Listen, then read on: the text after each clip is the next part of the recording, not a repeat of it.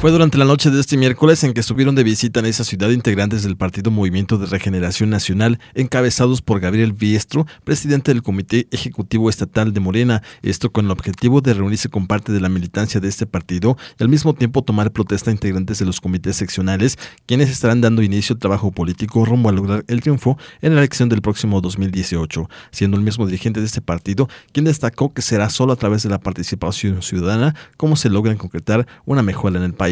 Nosotros llevamos aquí mucho tiempo ya en la lucha y en el camino nos hemos encontrado con más y más gente que se quiere sumar, más que por otra cosa, por el cambio, por generar un cambio verdadero. Cuando hablamos de cambio verdadero en Morena no es nada más un eslogan, no es nada más una frase. Ya nos han vendido la idea del cambio.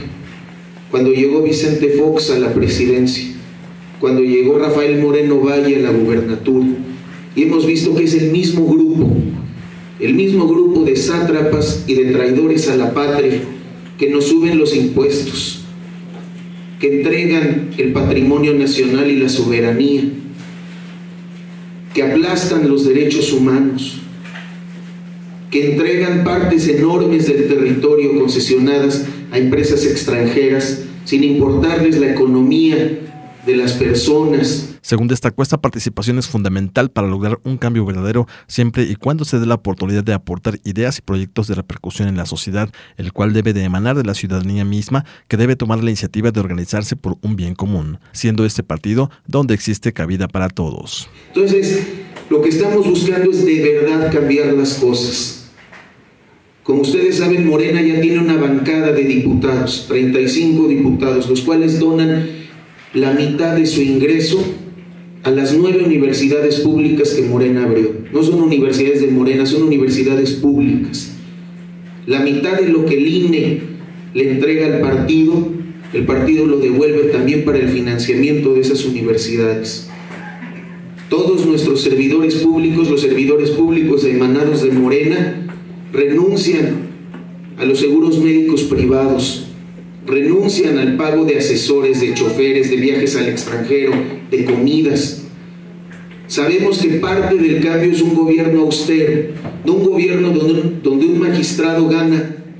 más de 600 mil pesos y que esos 600 mil pesos pues son para sus chicles, Dijo que con todo ello se busca que en México se generen mejores condiciones de vida, sobre todo en el aspecto educativo, vivienda, trabajo, salud, entre otros, lo cual seguramente detonará un cambio en las familias, agradeciendo de este modo a quienes ya se han decidido a sumarse a través de los comités seccionales cuya tarea será sumar a más agremiados a este proyecto. Todos los militantes de Morena se llaman protagonistas del cambio verdadero. Nosotros tenemos en cuenta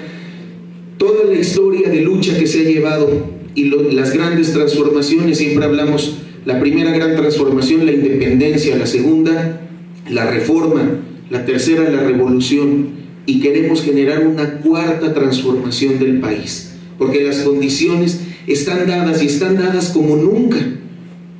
Ahorita tenemos una gran fuerza como partido. Morena tiene, ahorita comentaba, eh, tras dos años de existencia, más de un millón y medio de militantes. Tenemos tan solo en Puebla 80 mil de esos militantes. Por este motivo exhortó a quienes deseen sumarse a esta lucha política lo hagan, ya que solo a través de Molina es como se logrará un verdadero cambio, reiterando que en ese proyecto caben todos. Con imágenes de Ernesto Vázquez, para Informativo 9, Guillermo Mundo Aguilar.